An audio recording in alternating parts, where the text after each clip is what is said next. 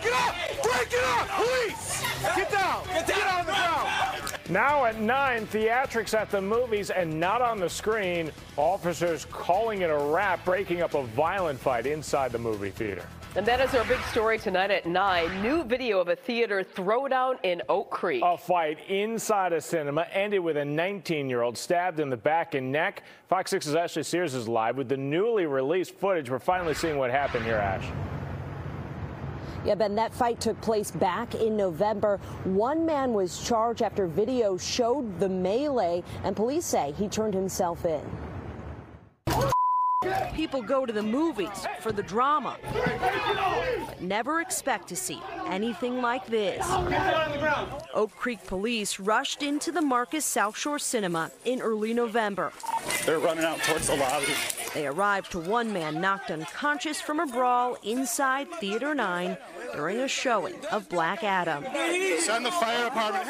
Witnesses told police one group throwing popcorn got beat up.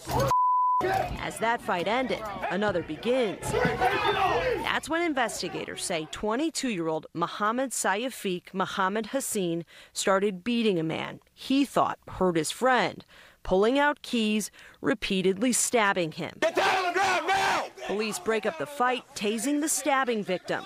Taser deployed. Taser deployed. The victim taken by ambulance to the hospital where first responders discover he's been stabbed multiple times. So I got shanked or something? Yeah, you got stabbed, okay? Just to be honest with you, all right? The defendant is seen throughout the body camera footage at the theater, but is never arrested. I don't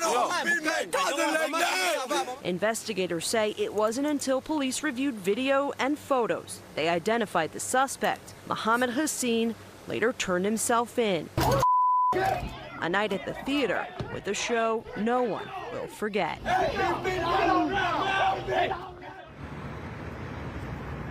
Mohammed Hassin has been charged with first degree reckless injury, use of a dangerous weapon. His case continues to make its way through court. Reporting live in Milwaukee, Ashley Sears, Fox 6 News. Pretty chaotic scene, a lot of bad behavior in there. All right, Ash, thanks.